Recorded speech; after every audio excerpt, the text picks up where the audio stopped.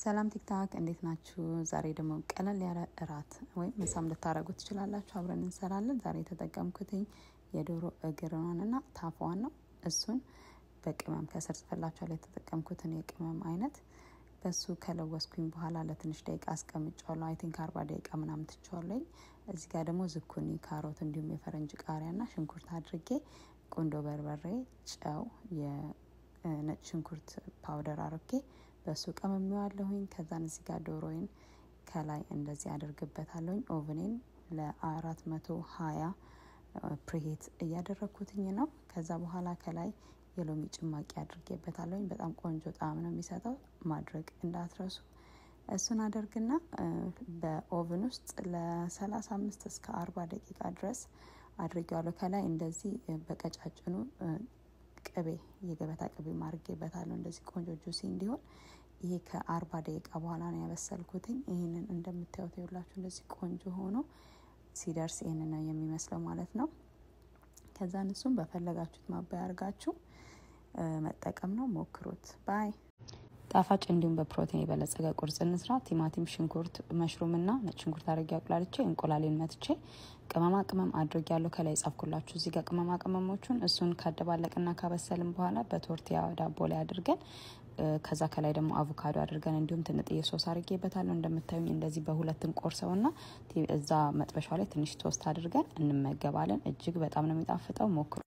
እንግዲህ ልጆቻችን ባደጉ ቁጥር አትክልት ወይም ደግሞ አንዳንድ የምንሰጣቸውን ሕጻን እያሉ የሚበሉትን አንበላም ሊሉ ይችላሉ። so ቤት ውስጥ ምን ማድረግ እንችላለን? እንደዚህ አይነት ነገር ሲፈጠር የምንፈልጋቸውን የአትክልት አይነት ነገሮች እንመርጥና መስራት የምንፈልገውን በጣም ትንጥዬ ዘይት አድርገን እንደምታዩት እንጠብሰዋለን፣ አትክልቶቹ ማለት ነው። ከዛን ትንጥዬ ቅመም እናደርግበታለን።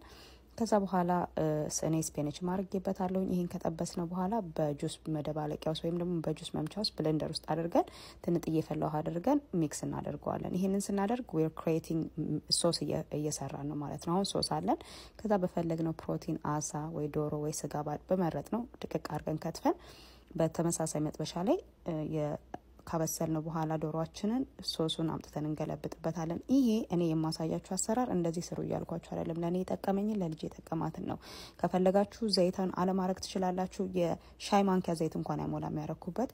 ከፈለጋችሁ ቅመሙንም መተው ትችላላችሁ። ግን እባካችሁ ሞክሩት፣ ለልጆቻችሁ በጣም ጠቃሚ ነው።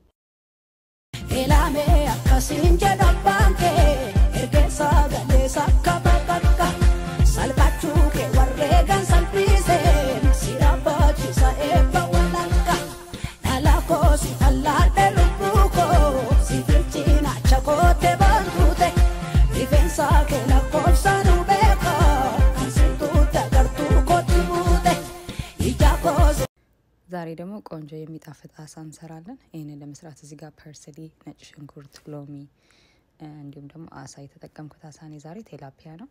እሱን አጥቤ ቆንጆ አድርጌ በ paper towel አጽድቼዋለሁኝ ወይም አድርቄዋለሁኝ። ከዛን እዚህ ጋር በምታዩት ቅመማ ቅመሞች እቀምመዋለሁ። parsley፣ garlic፣ pepper፣ lemon ከዛ Cajun seasoning ነው የተጠቀምኩት። የሎሚውን ፍቅፋቂውን አነሳለሁ። ቆዳውን ፈቅፍቄ እንደዚህ ነጭ ሽንኩርቱንም እንደዛ ድቅቅ አርጌ ከትፈዋለሁኝ። አንድ የሎሚ juice parsley ውንም ደግሞ እንደዛ አደርጋለሁ ማለት ነው። marinate የምናደርግበትን ነው እየሰራን ያለነው። ከዛ ነጭ ሽንኩርቱን፣ olive oil፣ parsley እንዲሁም የሎሚውን ጁስ አንድ ላይ አድርገን የሎሚውንም ፍቅፋቂ አንድ ላይ አድርገን እናደባልቅና እሱን በደንብ አድርገን ከአሳው ጋር እናደባልቀዋለን። ሌላ ነገር ያደረግኩትኝ አሳው ላይ ቅድም ባሳየኋችሁ በደረቆቹ spice ኦች ደግሞ በዚህኛው ማለት ነው ቆንጆ አድርጌ እሱንም መጀመሪያ ላይ አሳውም ቆንጆ ጣዕም እንዲኖረው በሱ መጀመሪያ ሽታ አድርጌ season አድርገዋለሁኝ። ከዛ በኋላ ከላይ ያንን አድርግበትና ለትንሽ ጊዜ marinate አድርጌው ሰዓት ካላችሁ ሁለት ሶስት ሰዓት ብታቆዩት ቆንጆ ነው፣ የተሻለ ጣዕም ይኖረዋል። ሰዓት ከሌላችሁ ግን ሰላሳ ደቂቃ ቢያንስ marinate ካደረጋችሁ በኋላ ብታስቀምጡት በጣም ቆንጆ ጣዕም ይኖረዋል። የምትሰሩት ምግብ ማንኛውም marinate የሚደረግ ነገር ሲቆይ ጣዕሙ more ጠንከር እያለ ቆንጆ እየሆነ ነው የሚሄደው።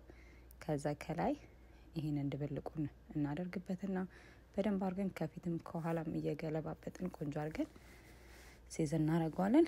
ከዛ በኋላ ለፍሪጅ ቤት እኔ ለአንድ ለሁለት ሰዓት አቆይቼዋለሁኝ። ፍሪጅ ቤት አድርጌዋለሁኝ። ከዛ ከፍሪጅ ቤት ካወጣሁት በኋላ ከላይ tilapia አሳ በተፈጥሮ ብዙ ቅባት ስለሌለው ከላይ እንደዚህ ገበታ ቅቤ ቆርጬ አድርጌበታለሁ። እንደምታዩት አድርጉበት።